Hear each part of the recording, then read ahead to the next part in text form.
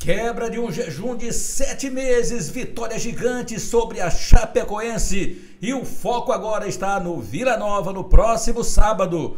Time pode perder Gabriel Furtado para o confronto diante do Vila.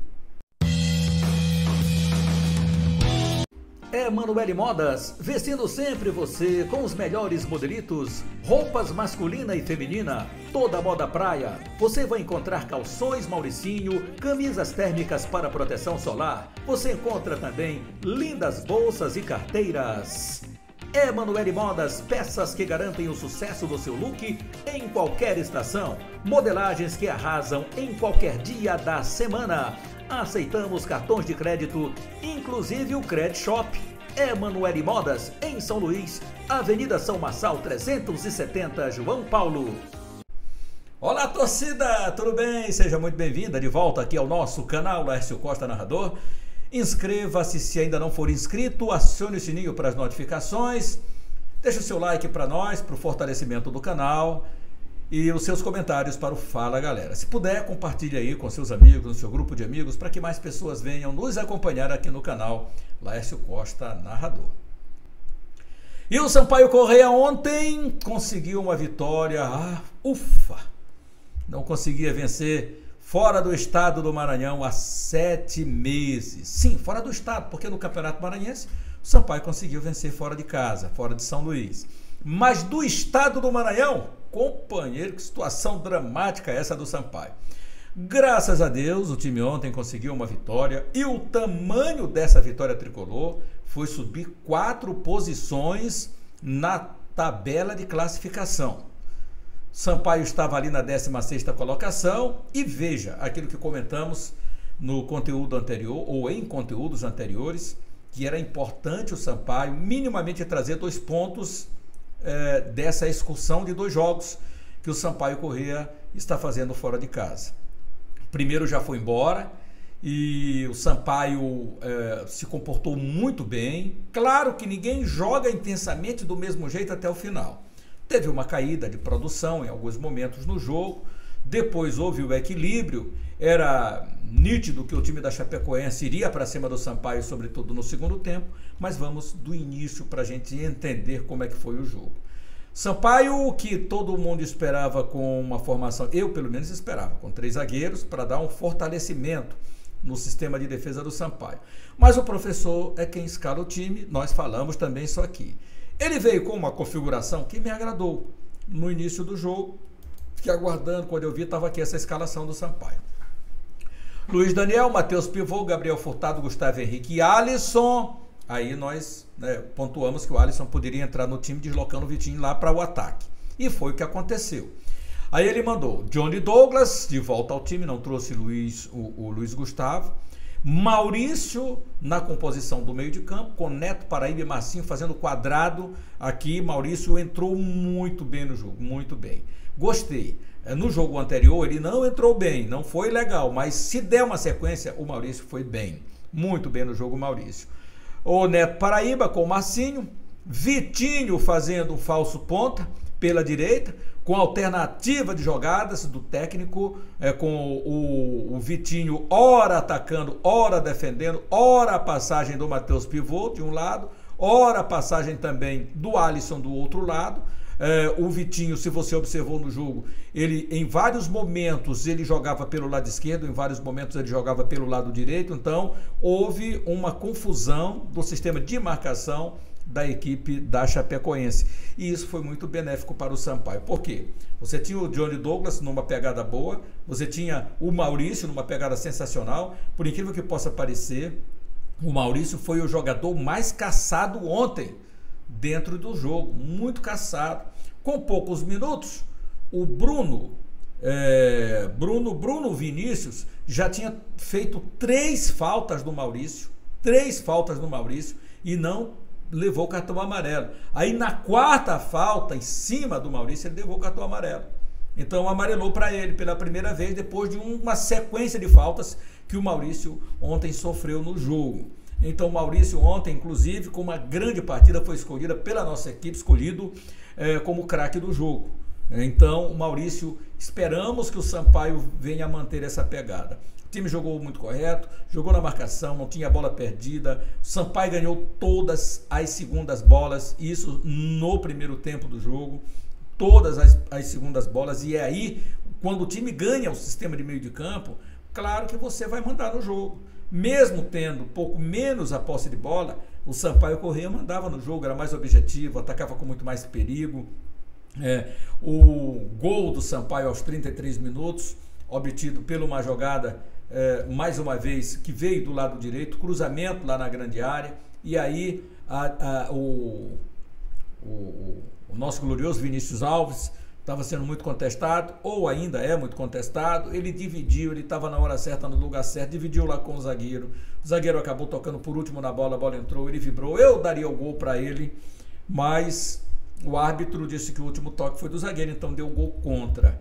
É, lá do Rodrigo, né? Então o Rodrigo, o Rodrigo fez o gol contra, mas com a grande participação do Matheus Pivô é, no cruzamento, grande participação do é, Vinícius, né, forçando é, em cima dos atacantes e do goleiro, enfim, 1 a 0 é, a vitória do Sampaio Corrêa, um, um tamanho gigante. Sampaio conseguiu no primeiro tempo, a Chape chutando muito mal no gol, cruzando bolas aéreas, no segundo tempo, sobretudo, voltou com uma pegada maior. O Sampaio Corrêa deu uma desestabilidade até entender como a Chape, a Chape é, estava no jogo.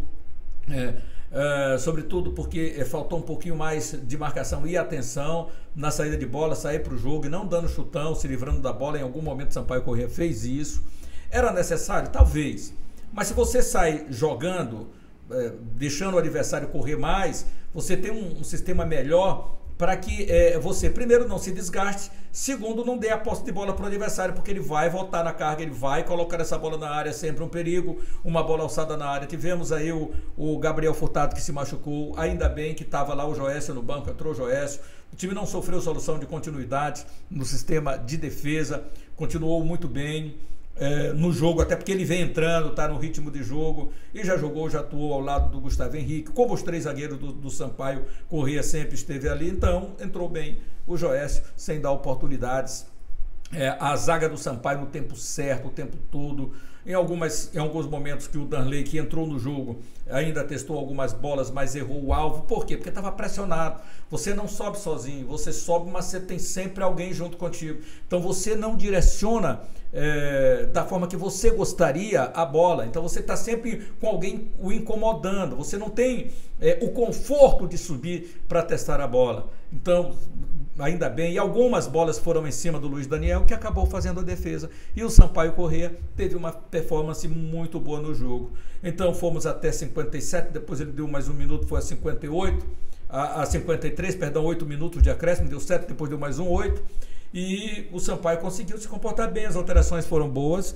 Eu gostei, é, como já falei, Gabriel se machucou, sentiu e foi muito bem feita a alteração. Porque se o jogador sentiu, tira logo para não agravar. Ele saiu sem estar tá mancando do, do, do, jogo, mas você já sentiu ali que deu uma, uma fisgadinha, sai logo, não fica no campo de jogo, aí você tem melhor poder de recuperação. Pode ser essa zaga titular, e eu colocaria a zaga titular para não agravar uma situação que já sentiu o Gabriel Furtado, que inclusive já tinha sido detectado como um jogador que poderia sofrer é, uma, uma, uma contusão. Né? O departamento de fisiologia do Sampaio tem acompanhado bem, feito bem esse trabalho.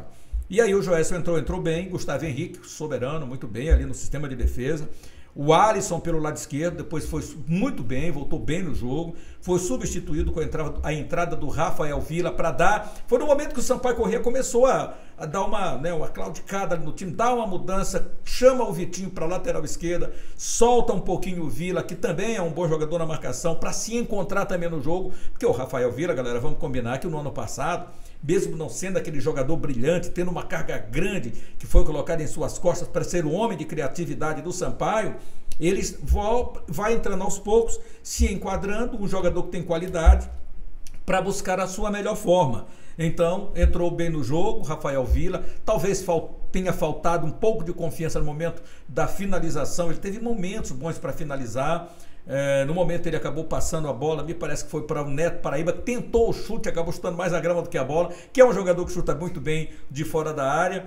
Mas é, o Sampaio gostei desse sistema, gostei da leitura feita pelo professor Nascimento, pelo professor Fernandes, perdão, o Márcio Fernandes. Então ele fez a leitura correta. Johnny Douglas fez muito bem a sua função. Neto Paraíba, sempre um jogador com muita qualidade. Marcinho, capitão do time nesse jogo, Marcinho entrou bem. O Rodrigo Souza depois entrou para dar um gás no time no lugar do Marcinho que tinha se doado bastante o Vitinho, mais uma vez, com uma regularidade muito boa, tanto na lateral esquerda como atacante, ora pelo lado esquerdo, ora pelo lado direito, compôs, fez muito bem aquilo que determinou o professor Márcio Fernandes. E o Vinícius Alves, aquele jogador que a gente espera mais, claro, mas olha, se doou, marcou, é, é, foi para cima, incomodou a, o sistema de defesa, é, quase marca o gol. Era necessário que ele marcasse para né, ter o seu primeiro gol nesse, nesse campeonato brasileiro da Série B, para se encontrar. O, o, o, técnico acredita no seu potencial, tanto é que o colocou em campo. Enfim, não marcou, mas o Sampaio Corrêa acabou saindo com essa vitória com o gol contra, contra do Rodrigo. Mas repito, com o incômodo do centroavante, com o atacante em cima, porque se ele não bota a bola para dentro fatalmente, o, o, o, Vinícius Alves estava na bola e jogaria a bola para dentro do gol. E o será que jogaria? Jogaria, jogaria a bola para dentro do gol. Aí de, de, depois ele saiu para entrar o Vinícius Cascais. Entrou ali, fez a sua movimentação, compôs bem, o Sampaio foi bem no jogo. O importante, não jogou aquela coisa que a gente ainda espera do Sampaio, um jogo espetacular. Não, não foi aquele jogo que a gente ainda espera que esses jogadores têm condição de fazer ainda, né? Não foi. Mas o importante que vai contar foi a boa atuação, a leitura bem feita pelo técnico, os jogadores assimilaram bem aquilo que o professor Márcio Fernandes queria e o Sampaio sai com resultado positivo. Dessa excursão que a gente esperava dois pontos, já temos três já começamos a estar no lucro. Agora queremos mais. Queremos ir para cima do Vila Nova com a mesma determinação. Talvez seja o mesmo esquema de jogo. Acredito que sim. Time que está ganhando não se mexe. Deve o professor configurar o time, a não ser que haja o problema de desgaste muscular. E aí sim, nós não podemos fazer nada. A gente tem que entender, tem que saber que às vezes o jogador ele saiu do time e é necessário que o, que o Sampaio Correia é, informe-nos para que a gente possa informar bem a você, meu querido torcedor, do que está acontecendo, porque a substituição é interessante que a gente faça isso. Vamos ouvir agora o professor Márcio Fernandes, porque após o jogo ah, não é aquela explanação que nós gostaríamos de ver do professor, né? Por quê? Porque a disponibilidade para nós das entrevistas do Sampaio Correia, eh, do Sampaio, aquilo que manda para nós a assessoria de comunicação, um minuto de entrevista. Um minuto de entrevista, o técnico não pode, não pode, não tem como, um minuto de entrevista, você dizer aquilo que você viu no jogo. E isso aí a gente vai, mais uma vez aqui, o Sampaio está fora, Sampaio leva a sua assessoria de comunicação nos municie de material para que a gente possa informar melhor o torcedor, para que a gente possa valorizar mais o Sampaio Correia, para a gente mostrar o material, um conteúdo melhor é, do próprio professor Márcio Fernandes. Mas o que nos disponibilizou foi isso aqui, a gente mostra agora a palavra do professor Márcio Fernandes. Vamos então. Professor Márcio Fernandes, uma vitória gigante, três pontos. Sampaio Correia, eu queria que você fizesse uma análise desse jogo. Olha, eu acho que fizemos um, um, grande primeiro tempo, né? Poderíamos ter até feito o segundo gol com um pouquinho mais de tranquilidade para achar a jogada certa quando nós saímos no contra-ataque. E o segundo tempo nós fomos inteligentes, né? Soubemos marcar, eu acho que a, a defesa estava bem postada, nosso meio é, realmente foi, foi muito bem e conseguimos uma vitória muito boa dentro do campeonato, difícil, né, contra um time dentro de casa que é muito difícil e os jogadores estão de parabéns. Certo. Agora o time já é, fica aqui em Chapecó ainda, os que não jogaram treino amanhã, depois é esse jogo difícil também diante do Vila. É, isso foi um, uma das coisas que nós pedimos, nosso presidente tá, não está medindo esforços para que a gente possa ter uma melhor qualidade, um, um, um momento bom de, de, recuperação, porque voltar para São Luís e depois ter que viajar no outro dia é, era um desgaste desnecessário. Eu sei que é, isso é, causa um, um desgaste financeiro, né? E mais ele, como falei, não está medindo esforços, está dando toda a condição e a gente precisava disso. Então a gente agora vai, vai direto para Goiânia, temos um, um tempo maior para descansar e a gente espera que possa recuperar o time o mais rápido possível para sábado estar tá todo mundo em condição.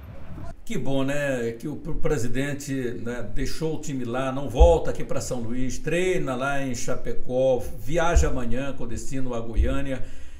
É isso do Sampaio Correia. Então a Bolívia querida é isso. E a gente conhecendo o Frota sabe que ele faz todo esforço para que o time possa render o melhor possível. E sendo assim, a gente pode né, esperar um bom resultado, porque o Sampaio não vai ter esse desgaste maior que seria voltar a São Luís e viajar para Goiânia. Que bom que o, o, o Márcio Fernandes está tendo todas as condições de trabalho para o Sampaio também trazendo um bom resultado lá de Goiânia. Se a gente pensou em dois pontinhos, agora a gente passa a pensar em minimamente quatro, não é verdade? Minimamente quatro, que já seria uma boa. Se vier uma vitória espetacular. Galera, agora vamos então para essa nona rodada que foi fechada com o jogo do Sampaio Corrêa 1x0 em cima da Chapecoense. Tivemos aqui toda ela que aconteceu no sábado e no domingo e na segunda-feira ontem. 3 a 1 Ituano no Londrina, CRB 1 Juventude 2, Havaí 1 a 1 com Vitória, Atlético 1 a 1 com o Botafogo, Ponte Preta 1 a 0 no Vila Nova, Mirassol 1 a 0 no Criciúma, Ceará 0, Novo Horizontino 3, Esporte 4 a 1 no ABC, Tombense 1 a 1 com o Guarani, o Sampaio 0, eh, o Sampaio 1, Chapecoense 0 lá na Arena Condá. Como é que fica a classificação? Fica bem assim. Vitória na liderança 19, Novo Horizontino 17, Vila Nova 17, Criciúma 17. Esse é o G4. Mirassol 9, Botafogo 9, Atlético Goianiense 16, Guarani 15, Sport 14, Ceará é, com 13 pontos, fechando a primeira página. Na segunda página tem Juventude 12, Sampaio subiu 4 posições, 12 colocado agora com 12, Ituano 10, Londrina 10, Ponte Preta 10, Chapecoense o primeiro fora da zona de rebaixamento com 9, na zona tem Havaí com 8, Tombense 5, CRB 5 e ABC 4 pontos, isso mesmo. E a décima rodada vem aí, começando na sexta-feira a décima rodada. Botafogo e Tombense, Ceará e Chapecoense, Criciúma e Atlético Goianiense. Jogos da sexta ainda com Vitória e Ituano às 21h30. No sábado tem Juventude e Havaí, Mirassol e Ponte Preta, ABC e Novo Horizontino, Vila Nova e Sampaio Correia. Encontro marcado aqui no canal, hein? Sábado, 7 da noite. A bola rola, nem fala uma hora mais cedo. Guarani e CRB no domingo às 15h30 e no domingo também Londrina Esporte para fechar a décima rodada do Campeonato Brasileiro. E o Sampaio Correia na décima segunda colocação, que legal, rodada show de bola para a Bolívia querida. Acompanhe com a gente os conteúdos, vamos ficar de olho no Sampaio, movimentação é, acontecendo lá ainda em Chapecó, o Sampaio vai permanecer até esta quarta-feira e depois vamos acompanhar a trajetória do Sampaio Corrêa também Goiânia para o confronto diante do Vila Nova. É isso aí, fica ligado aqui no canal que você não perde nenhuma, agradecendo os nossos parceiros, Emanuele Modas e Mebal Alumínio. Valeu, minha galera, não esqueça, inscreva-se no nosso canal, acione o sininho para as notificações, deixe o seu like, seu joinha, é importante para o fortalecimento do canal, compartilhe e deixe os seus comentários aqui para o Fala Galera. Grande abraço, fique com Deus e até mais. Mebal Alumínio, fabricação, automação e manutenção do seu portão de alumínio. Motores, vidros temperados, jardim de inverno, box para banheiro, portas e janelas em vidro temperado. Em São Luís, entrada do Quatraque bem ao lado do sinal. O WhatsApp 98724 2849 ou ligue 3238 5050 98802 0326.